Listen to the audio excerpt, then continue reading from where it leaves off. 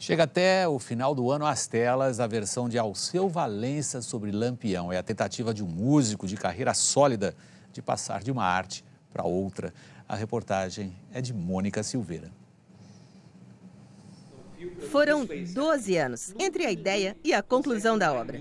Sei todo decorado, meu filme todinho, tá, mas não foi uma grande memória, não, em virtude da memória, não. Foi em virtude do tempo que passou para poder fazer o meu filme. Finalmente saiu. O filme é sobre Virgulino Ferreira da Silva, o Lampião. É também sobre ódio, vingança e amor. É mais que tudo isso, um filme com o DNA de Alceu Valença. Roteiro é dele, direção também. Até da edição participou e ainda atuou.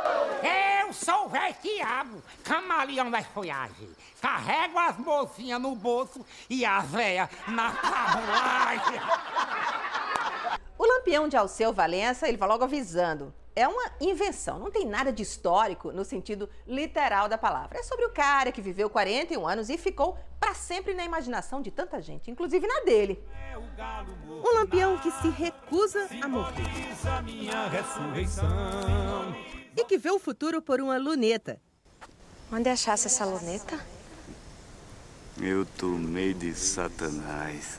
Mas por que Lampião? Na época que eu era menino, ele estava presente no violeiro, ou no, no, no cordeirista dizia, um cabra de lampião pro nome pilão deitado, que morreu numa trincheira e em certo pelo passado, agora pelo sertão, anda correndo visão, fazendo mal assombrado. E quando o filme finalmente ficou pronto, que alívio, hein? E então eu, eu quebrei as mídias todinhas, saí quebrando tudo para poder não falar mais no filme. Daí diante eu não falei mais. Curiosidade total para ver esse filme. Alia jacta est.